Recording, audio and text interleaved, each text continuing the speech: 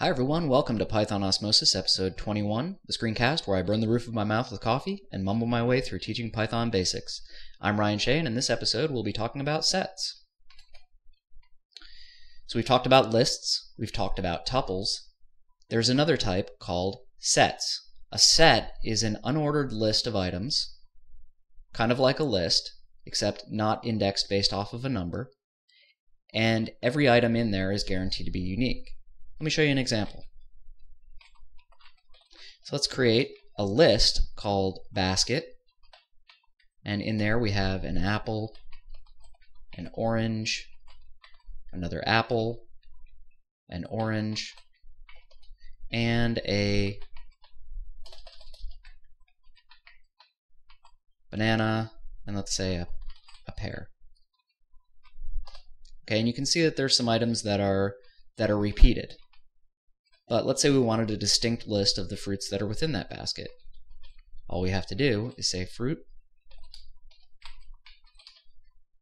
So you use the set notation, open paren, specify your sequence, and close paren.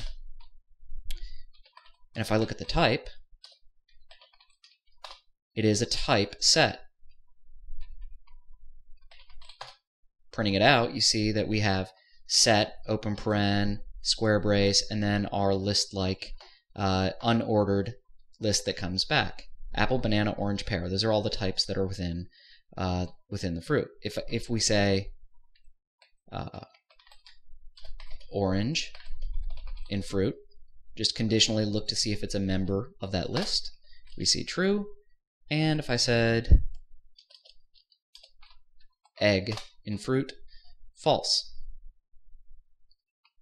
You can create a set using other sequence types too, like a string.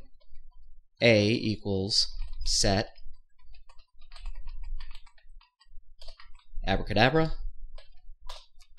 You see it broke those out into each individual letter, and we see it it shuffled up the order for us. There's there's no guarantee of how those those orders are coming back. And let's create another set. B equals set alakazam. Now, here's the really cool thing that you can do with sets. You can compare lists. In Perl, I always used a module called list compare to do this, but in Python, it's built right in. Let's take a look.